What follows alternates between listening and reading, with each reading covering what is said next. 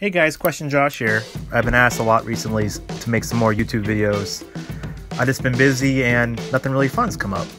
So, um, Bob Reign, also known for his company Junobo, puts out some new eggshell stickers and they sold out super fast.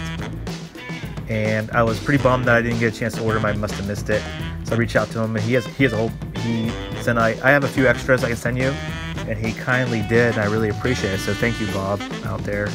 I'll leave his link in the comments, his, his uh, Instagram, if you guys want to follow. He's, I think he sells some stickers, or you can at least ask to trade a pack. I'm not quite sure. But every couple years, he puts out a new eggshell sticker. The orange one previously came out, oh man, I don't know, maybe six, seven years ago.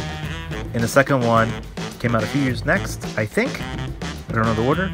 And these brand new ones, which are super smooth, has the pull tab with the black C line outline, really makes it pop.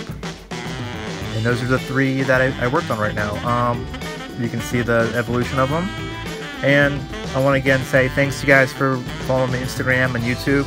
I'll try to make more videos now that you know things are a little slow in the world, as you know. So thanks for watching.